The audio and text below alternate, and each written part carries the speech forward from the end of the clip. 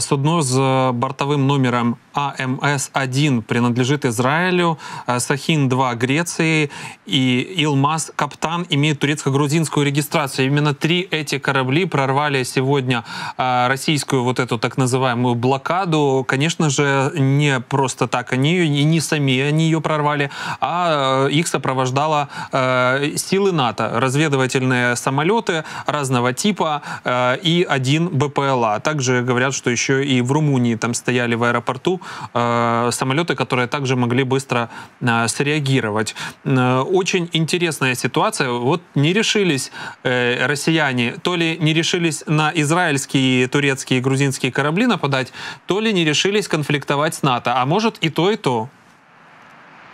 Э, здесь ситуация, в самом деле, очень интересная, несколько загадочная. Я думаю, она прояснится в ближайшее время но я практически уверен, что а, роль натовских э, сил в данном случае она не была в качестве конвоя, который готов был вступить э, в столкновение с Россией. Это абсолютно противоречит нынешней стратегии НАТО. Не зря НАТО очень осторожно в своих действиях, кстати говоря, вплоть до того, что американский беспилотник был безнаказанно ну, по сути, сбит в свое время российским истребителем, американцы не отреагировали. Американцы считают, что до определенной черты э, идти на какой-то риск, даже минимальный, подчеркиваю, минимальный столкновение с Россией нецелесообразно. Поэтому в данном случае натовская миссия заключалась в наблюдении, в самом деле, чтобы Россия чего-нибудь не учинила, а в нейтральных водах просто взять и атаковать суда, но это было бы беспред... не то, что беспрецедентным пиратством, прецедентов хватает более чем, но это было бы слишком даже для России. То есть если бы Россия на нечто подобное решилась,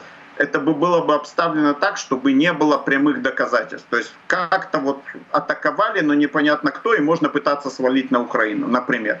Э, вариант номер два – атака уже в украинских водах, причем не обязательно судов, а можно и порта. Но я считаю, что здесь э, что-то произошло необычное. То ли это остаточные какие-то результаты зерновой сделки, отмененные уже. То есть либо нечто иное к сожалению, э, предполагать, что суда, гражданские суда будут свободно ходить, пренебрегая российской угрозой, я бы не стал. Потому что гражданские суда — это э, э, компании, владельцы судов, их цель — прибыль.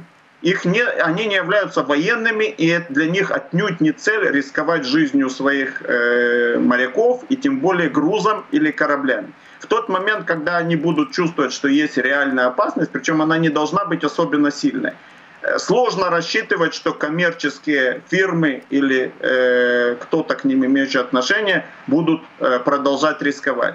Э, у России, к сожалению, есть возможность напугать, причем даже не прибегая к такому совсем уже откровенному нападению, атаки на конкретное судно в нейтральных водах, есть возможности напугать э, иностранных, да и не только иностранных судовладельцев, их страховиков, тех, кто страхует, чтобы это не происходило дальше. И я предполагаю, что если Россия сочтет это возможным, они поступят подобным образом. Это может быть атака украинского порта, например, когда там поблизости находятся или стоят суда. В общем, э, здесь э, я бы хотел сказать что-то оптимистичное для телезрителей, но, к сожалению, я не вижу э, такого развития, что корабли и суда безнаказанно, что называется, без проблем проходят, а Россия на это закрывает глаза. Здесь, видимо, мы имеем в виду с единичным случаем или единичными, которые продолжатся до какого-то определенного момента, потому что трудно предположить, что Москва с этим смирится и махнет на это рукой. Э, давайте контрмнение все-таки дам. Э, не считаете ли вы, что э, это объединение НАТО, возможно, они все-таки почувствовали, что они могут отстаивать свои интересы, э, объединились, э, прикрыли эти корабли и, в принципе, дали сигнал России, что мы можем объединиться, дали сигнал себе, что мы можем объединиться ради этой цели, э, которая нам нужна. Э, ну и дали сигнал экспортерам о том, что без России это можно продолжить, и это будет абсолютно безопасно. Э, я, я здесь с вами не соглашусь. Это бы было коренным изменением стратегии НАТО, когда оно решило, чтобы бы решило, что оно, блок в смысле, решил да. бы, что э, столкновение с Россией их далеко не так пугают, и если что, добро пожаловать. Так вот этого коренного изменения не прошло. А если конвоируют и прикрывают, в, тот, в этот момент должны исходить из предпосылки, что возможно столкновение. А если россияне атакуют, а что делать тогда? Или это псевдоприкрытие, или должны быть проработаны все эти сценарии, или мы отвечаем. Так вот, в такой ситуации, когда они атакуют, а мы отвечаем в Черном море, тем более ради зерновой сделки, это, на мой взгляд, на данный момент очень далеко. НАТО не принято такое решение. Э, принято решение, естественно, наблюдать за происходящим, но не принято решение идти на риск конфронтации с Россией. Э, иначе бы мы увидели и другие, скажем так, симптомы изменения такого рода решений, вплоть до поставок немедленных Украине ракет «Атакамс», более агрессивных ответов, например, американцев в Сирии, где так же, как и на Черном море, мешают миссиям беспилотников и наносят им повреждения российской авиации. При том, что российская сторона слабейшая, то есть это очевидно. Но это ядерная держава, и это государство, у которого, как считают в Белом доме, и не только в Белом доме, есть элемент неадекватности при принятии решений. И вот эти два аспекта, ядерный фактор и вот этот э, авантюризм власти, э, тот самый, являются тем самым риском, на который Запад не хочет идти. Опять-таки, напомню я о запретах, о запретах обстрелов американским оружием военных объектов на украинской территории. Даже ведь ситуация может быть настолько абсурдной, что в 200 метрах от границы стоит орудие российское, и на него все равно этот запрет распространяется. Хотя с точки зрения закона войны и логики войны, это более чем легитимная цель. Э, Запад и в частности администрация Байдена с начала войны проявляют осторожность. Они свои барьеры психологические и другие, которые они себе ставят, они преодолевают, но делают это постепенно и очень медленно. И поэтому я не вижу пока такой ситуации, когда, скажем, Турция или страны НАТО в буквальном смысле конвоируют и пытаются на всякий случай чуть ли не дать бой россиянам, если те атакуют суда. Я скажу более того, даже суда гражданские – но чисто гражданские суда, не украинские, которые, опять-таки, их цель — прибыль у владельцев компании. Даже под конвоем, понимая, что их могут атаковать все равно, что они в рискованной ситуации, здесь мало кто решится в итоге таким делом заниматься. Более того, конвой и все остальное, а на украинской территории, вот он уже вошел в украинские территориальные воды, вот он, при, вот он э, в порту, будь то Южный, Одесса или Измаил.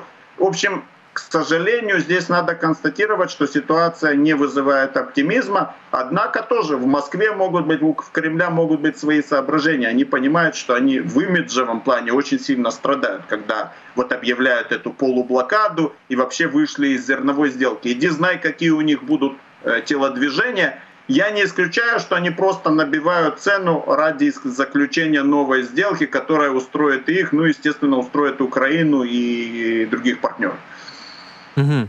Услышал ваш ответ. Хочу продолжить мысль о том, что у России есть ядерное оружие, о том, что это ядерная держава, у которой есть фактор, э, как вы сказали, неадекватности, который учитывается. Вот заявление от сенатора США от республиканской партии Линдси Грэма прозвучало.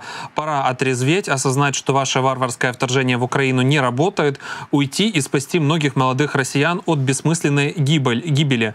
Э, использование России ядерного оружия против Украины будет считаться нападением на НАТО. Э, достаточно такое ну, жесткое заявление, которое которое как, как бы в нашем разговоре опять как контрмнение вашему, но я это зачитываю с точки зрения, чтобы мы э, нашли какое-то... Э, в споре рождается истина, чтобы понимать, э, политическое ли это заявление, просто политическое, или это заявление, которое, опять-таки, фундаментально что-то меняет. И если это политическое заявление, зачем об этом просто говорить, если не готовы действовать? Ну, во-первых, надо понимать, э, на какой позиции находится э, сенатор Грэхэм на данный момент. Он не принимает решения вместо американской администрации. Более того, он в оппозиции. Так что здесь он в заметной степени высказывает свое мнение и пожелание, как должно быть. То, как же, то чего желает Грэхэм, автоматически не означает, что автоматически тот же самый подход э, соответствует политике нынешней администрации применение ядерного оружия по Украине и как знак равенства применение э, ядерного оружия против НАТО, то есть вот как равноценное такое уравнение, официальные лица, я бы сказал так, те, кто руководит государствами НАТО, в том числе Байден, вот так вот, в отличие от Грэхэма, они не высказывались подобным образом. Это важно отметить. Здесь в первую очередь важно смотреть на тех, кто принимает решения а не оппозиционеров, хоть и важные политические фигуры. Однако такого уравнения они не выдавали в открытую. Однако надо понимать, что не дай бог подобное э, может подобное случиться. Безусловно, Россию ждут очень тяжелые последствия. Я не могу говорить за решать за НАТО и даже сенатор Грехом не может решать за администрацию нынешнюю, но, безусловно, сказать, что это не останется безнаказанным, это ничего не сказать, и Россию ждут тяжелейшие последствия просто катастрофического масштаба. А вот, тем не менее, утверждение вот такое, как это высказался Грехом, скорее, в данном случае его не делал президент, действующий президент, его не делал премьер-министр Великобритании, это надо понимать, Э, это сделал все-таки важная фигура, но это оппозиционный, оппозиционный э, сенатор от республиканской партии.